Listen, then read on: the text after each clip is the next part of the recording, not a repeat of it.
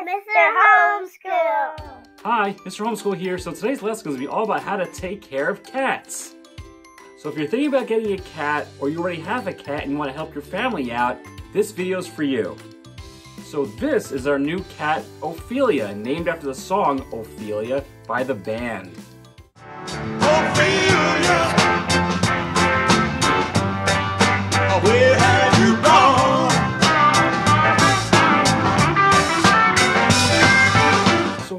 things first when dealing with cats, be very gentle with them and no sudden movements, especially when they're so little.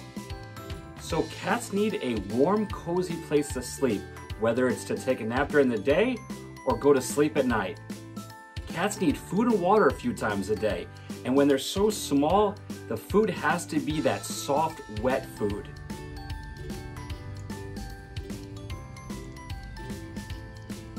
Cats, especially kittens, love to keep busy and play.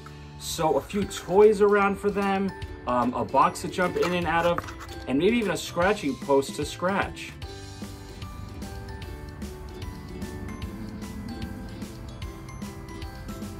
And lastly, you'll need a litter box for them to go to the bathroom in. So you always want to maintain a couple inches worth of litter inside the box at all times. And then you scoop out the poop with a shovel that has little holes in it. Hey, thanks for coming with me to learn all about how to take care of a cat. Hey, so what does a cat say when he wants to say goodbye?